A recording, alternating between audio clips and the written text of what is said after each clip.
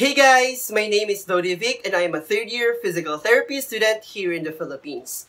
For today's video, pag-uusapan po natin ang tamang paraan upang mailabas ang plema sa ating katawan. Kung para sa iyo ang video na ito dahil meron kang ubo, sipon, or sakit sa baga, mag-subscribe ka na sa YouTube channel ko at turn on mo ang notification bell para updated ka sa mga susunod na videos.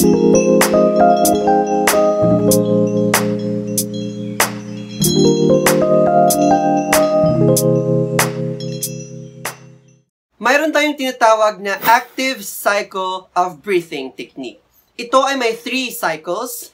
The first one is the diaphragmatic breathing, followed by the thoracic expansion exercises, and then the forced expiratory technique. First is the diaphragmatic breathing. What you're gonna do is to place your hand on your stomach and then inhale slowly through your nose. But you have to make sure that as you inhale, your stomach is the one expanding and not your chest. Followed to that is exhalation through an O-shaped mouth or a pursed lip. You do this for five times, like this po.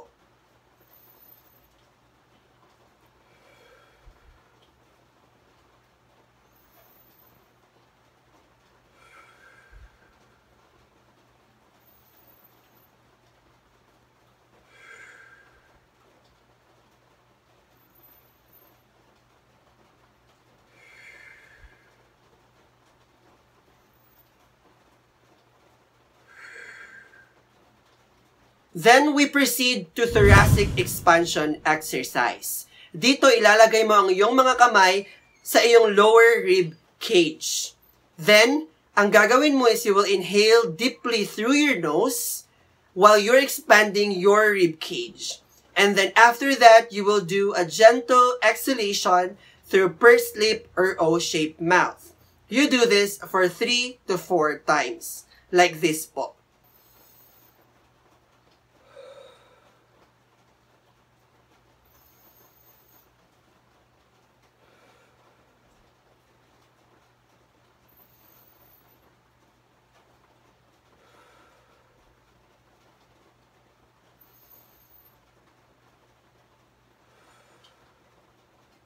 Then, after that, pwede kang bumalik sa diaphragmatic breathing or mag-proceed ka sa last phase, which is the forced expiratory technique.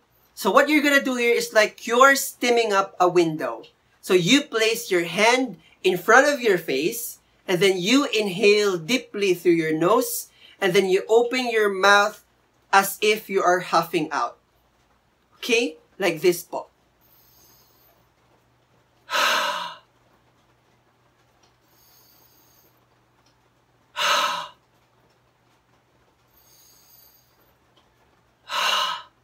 You can also do this with a short breath in and a long breath out.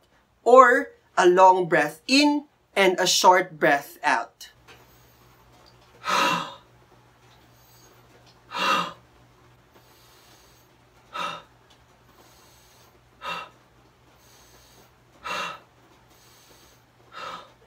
That's it guys! Next week, I will post another video at ito naman ay tungkol sa mga over-the-counter drugs or mga gamot na pwede niyong bilhin para sa ubo at sipon. So make sure na nakasubscribe ka na sa YouTube channel ko at naka-turn on ang notification bell para updated ka sa mga susunod na videos.